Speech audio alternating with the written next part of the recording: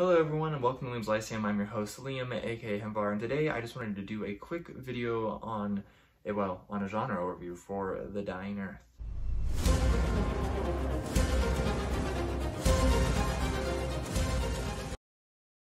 Okay, so this is basically for those people who don't know what Dying Earth is. Now this is not a super popular genre. It is a science fiction genre it, or science fantasy is generally kind of the case, uh, but science fiction, if you want to put it broadly.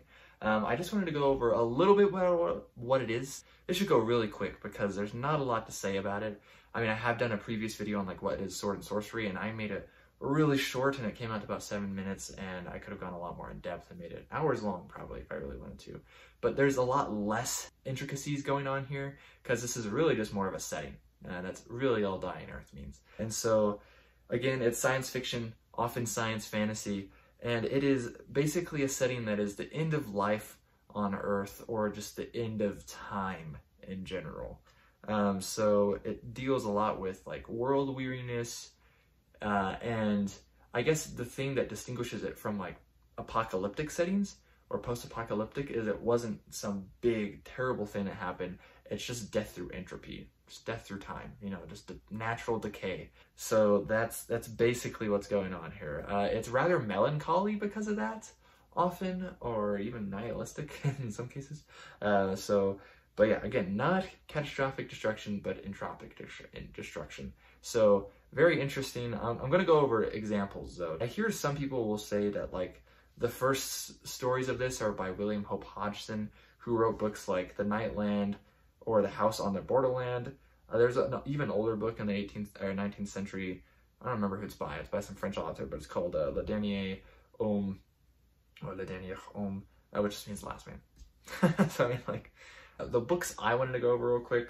Um, I guess the name of the genre comes from Jack Vance's Dying Earth. This is the omnibus you can basically get these days. There's only four of these. I have four novels in it, so and they're rather short. I don't have them; they're kind of hard to find actually, which is a big sad to someone who likes to collect like I do.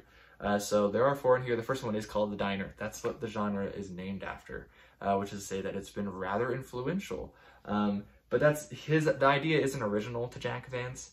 Um, he just kind of well, he gave a name to it, right? So I mean, some H.P. Lovecraft short stories are basically Dying Earth settings. There's other ones as well. The ones that are more important, I feel like, to mention are Zothique by Clark Ashton Smith. This is not a Zothique, a Zothique uh, collection, because those are actually hard to come by. There's one in the 70s, I think, um, by Lin Carter, I believe, or maybe it was Els Camp. I'm not quite sure, but this is actually the world Zothique is the world uh, Jack Vance based his Dying Earth setting off of. Uh, Clark Ashton Smith does a lot of settings, so Zothique is just one of a few. Uh, and this one, this is the Penguin Classics version of Clark Ashton Smith, and she's, look, he's made it, guys, because he's got Penguin Classic versions. Um, but uh, the name of this one is actually The Dark Eidolon and Other Fantasies, and The Dark Eidolon is actually the big Zothique story in here, and I just want to read, like, the first sentence in here. And it is, On Zothique, the last continent of Earth, the sun no longer shone with the whiteness of its prime, but was dim and tarnished as if with a vapor of blood. So from that first sentence, you know it. The sun is dying. so uh, even another older one than Vance, because Vance's Dying Earth came out, I think either in 50 or 51. I should have looked that up, but I didn't. Um, is Ervool by Fritz Leiber. I just can't get away with not mentioning Fritz Leiber. So this is a chapbook from the 80s, so this is not a very popular one. But this tells the story about the last being on Earth, not actually human. Um, it's actually very interesting. This is actually, in some ways, the dead Earth, not a dying Earth. It's already dead, but it, it isn't because there's one person left on it still. Um, but it's definitely not the end of time. That's actually a point in the story is that like well, everything dies on Earth, it's still not the end of time essentially. That is the big point at least. I would say the more popular, I would say, series, definitely a like cult classic, would be Gene Wolfe's Book of the New Sun.